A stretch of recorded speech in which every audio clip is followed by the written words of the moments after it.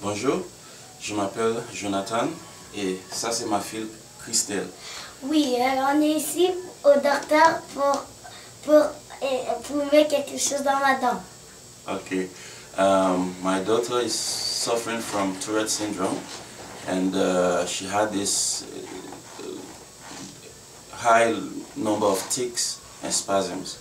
And uh, after Dr. Sims had uh, put the tongue depressor in her mouth, I noticed a lot of difference. And I am hoping that um, this this uh, this new apparatus that he's planning to make for for Crystal will work uh, because of the difference which I saw. Okay. Wow. What what types of tics?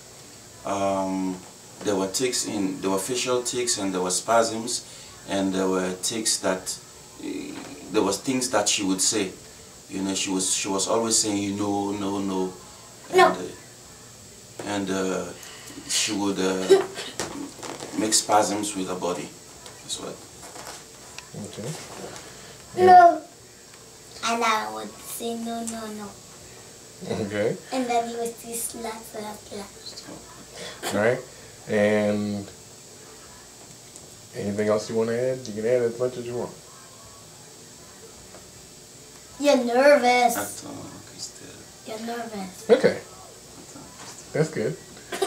Hey, what did you feel when you had them in your mouth?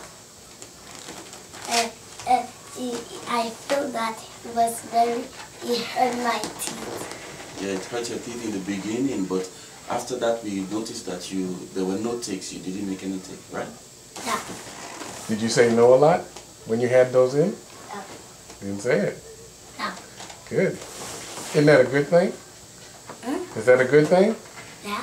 Yeah. All right. Bye. Say goodbye and how do you say goodbye? Au revoir.